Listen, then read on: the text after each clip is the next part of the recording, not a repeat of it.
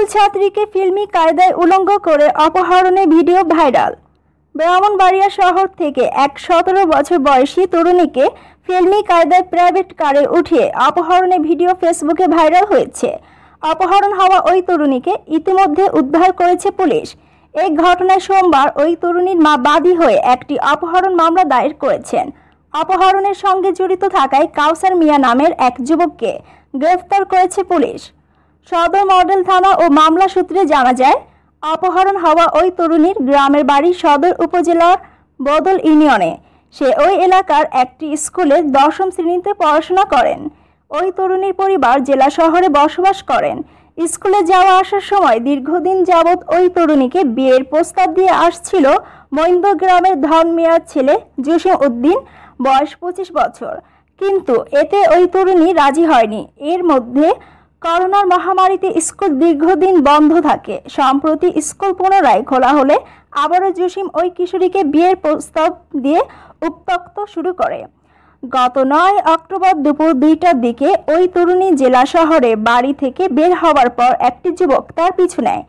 কিছু দূর যাওয়ার পর সামনে একটি প্রাইভেট কার তাকে গতিরোধ করলে পিছনে ধাক্কা দিয়ে ওই তরুণীকে প্রাইভেট কারটিতে উঠিয়ে করে নিয়ে যায়। ঘটনাটি সিসিটিভি ক্যামেরায় ধারণ হয়। একই দিন রাতে ওই তরুণী তার বাসায় নাম নিজেই ফিরে আসে। এ সময় সে তার পরিবারকে জানায়, প্রাইভেট কারে করে অপহরণের পর সদর উপজেলার সহিলপুরে তাকে ছেড়ে দেওয়া হয়েছে। সেদিন রাতেই ওই তরুণীর মা সদর মডেল থানায় এসে ঘটনাটি জানিয়ে একটি অভিযোগ করেন। এই ঘটনায় অভিযুক্ত জসিম উদ্দিনকে আটক করতে অভিযান চালায় সদর মডেল থানা পুলিশ। রোববার রাতে অপহরণে জড়িত থাকায় জসিমের বড় ভাই কাউসার মিয়াকে আটক করে পুলিশ। সোমবার সকালে এই ঘটনায় ওই তরুণীর মায়ের করা একটি মামলা রুজু করে পুলিশ। এই বিষয়ে সদর মডেল থানায় পরিদর্শক সোহরাব আল হোসাইন জানান, অপহরণের ঘটনায় ওই তরুণীর মা বাদী হয়ে পাঁচজনকে আসামি করে মামলা দায়ের করেছেন। এর মধ্যে একজনকে গ্রেফতার করা হয়েছে। তার কাছ থেকে তথ্য উদ্ধার করতে রিমান্ড আবেদন করা হবে। বাকি আসামিদের গ্রেফতার করতে আমাদের কার্যক্রম চলছে। সংবাদে আরও থাকছে, শালিকার আপত্তিকর ছবি দেখিয়ে বিয়ে ভাঙলেন দুলাভাই। সুনামগঞ্জের ছাতক উপজেলায় শালিকার আপত্তিকর ছবি দেখিয়ে বিয়ে ভেঙে দেওয়ার অভিযোগে এক ব্যক্তিকে গ্রেফতার করেছে পুলিশ।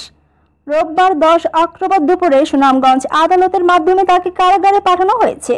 এর আগে শনিবার নয় অক্টোবর রাতে গ্রেফতার করা হয়। গ্রেফতারকৃত ব্যক্তি মৌলভীবাজার জেলার রজনগর উপজেলার দক্ষিণ গড়গাঁও গ্রামের মৃত আফরোজ আলীর ছেলে মোহাম্মদ শেখ আজিজুল হাকিম।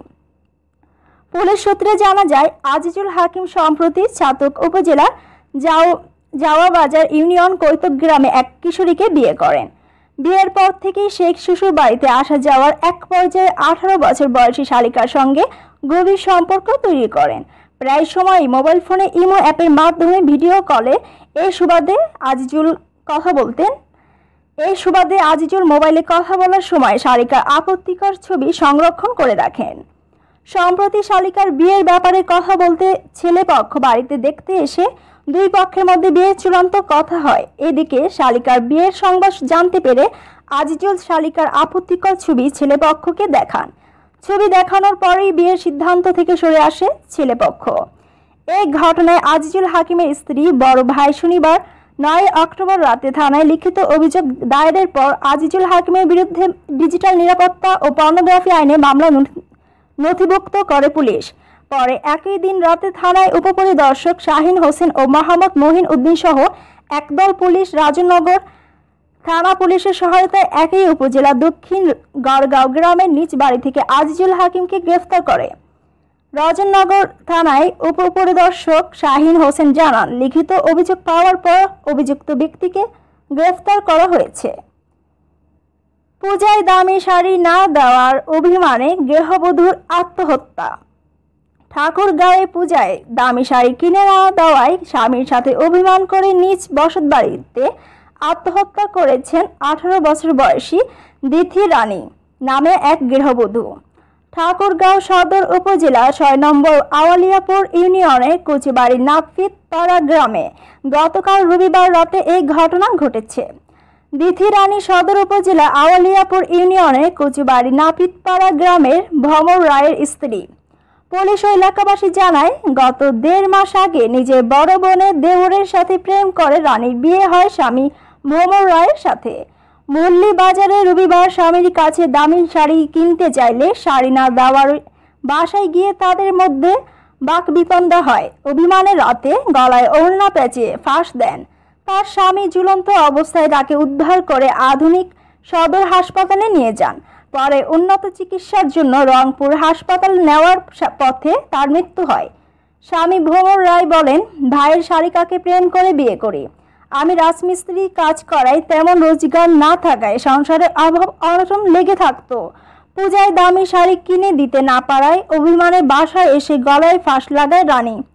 ঘটনার সত্যতা নিশ্চিত করে সদর থানার অফিসার ইনচার্জ তানভীরুল ইসলাম জানান, লাশ ময়নাতদন্তের জন্য মর্গে পাঠানো হয়েছে।